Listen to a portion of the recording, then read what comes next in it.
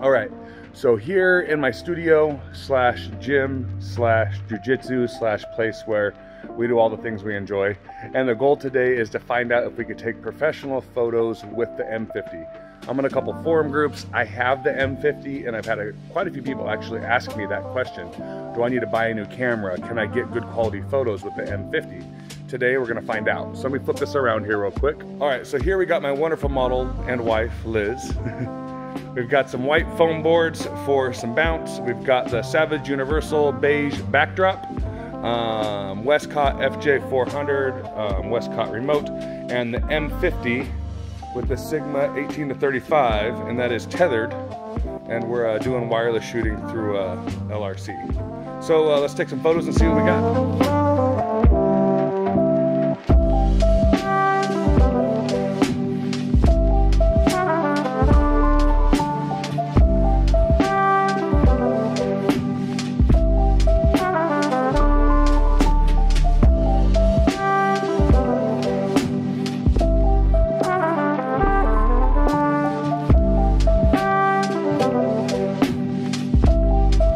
The M50 holds a special place with me.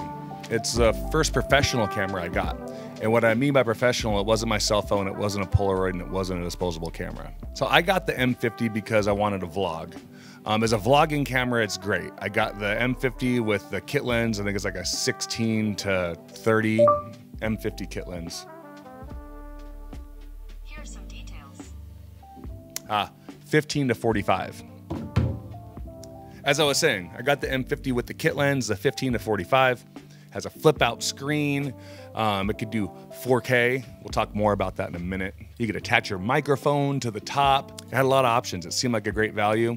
And the price point was one in which I wouldn't have to go out and sell myself in order to buy it. I'll never do that again. So I got the M50 and away I went. I learned a couple of things pretty quick. When it came to vlogging, like I said, it worked great. You could throw it on a Gorilla Pod, you can hold it out here.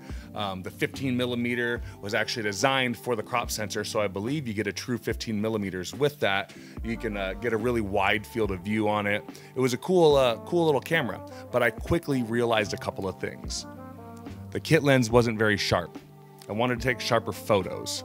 So I went out and I got the 32 millimeter f1.4 lens. Getting that lens is when I realized that the camera actually could produce tack sharp, really, really good quality images. So then I went from wanting to make YouTube videos to wanting to make YouTube videos and take photos. So I used the kit lens I used the 32 millimeter 1.4 to learn everything I could about the camera. I learned about aperture, I learned about shutter speed, I learned about ISO, I learned how to properly expose a photo. And that's what I really think the M50 helped me out with a ton. Now, I'm not saying that the M50 needs to be resigned to a beginning or a starter camera, because it certainly doesn't. But at the price point, what you get per dollar, it works really, really well in that regard. So I started to evolve when it comes to photography. I started to evolve when it comes to taking photos, and people wanted to start paying me to do these things. So I always thought, why not? You know, I haven't yet run into any limitations with the M50 when it comes to picture quality, especially with that 32 millimeter 1.4. So my wife and I own a business here in town, and we have it in a warehouse is where we operate this business, and I have some extra space in there. So I started to build a little studio. So I got backdrops, I got studio strobes. Um, I subscribed to Adobe so I can use all their software and Lightroom, and I do video editing in Premiere Pro. So I had this little studio going. And my camera was my EOS M50. I wouldn't use a kit lens, but I would use that 32 millimeter 1.4. Something important to remember is using a crop sensor with that Canon M50.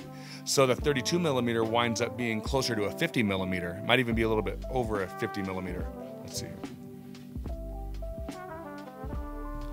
What's 32 millimeter times 1.5? 32 times 1.5 is 40. Winds up being a 48 millimeter lens. Now, around that 50 millimeter range is okay when it comes to portraits, studio portraits. Um, I really don't like to go lower than that. I really don't like to go lower than 50, but I was making it work with the 32 being a 48 due to the crop sensor. Here's some of the photos I took with that lens and that whole setup there. And again, here I was just learning. Studio shooting was a whole different thing for me.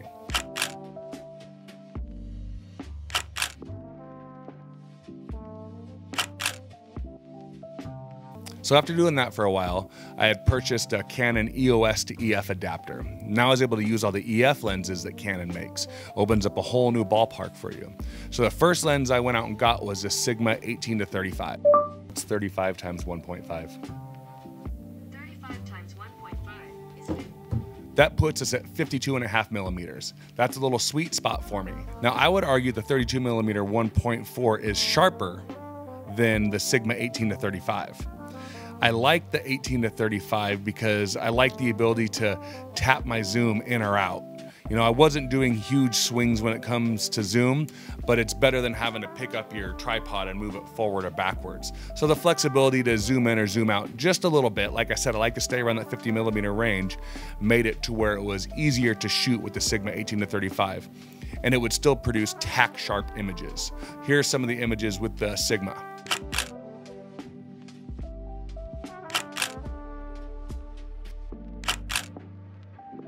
Now let's talk about the actual camera body itself. I can tether and live shoot with Lightroom, no problem whatsoever. You can touch the screen for autofocus. That's awesome. It has quick, responsive, great autofocus if the lighting is right. I notice here, just looking at my monitor, that I'm in and out of focus a little bit. Don't really know why that is, but I'm sure I'll see in post what happened. So you've been sitting here listening to me go on and on and on about how great the M50 is. And you're probably asking yourself, well, if the camera is so great, why would anyone ever need another camera? There are a couple limitations. I actually just got my first full frame camera.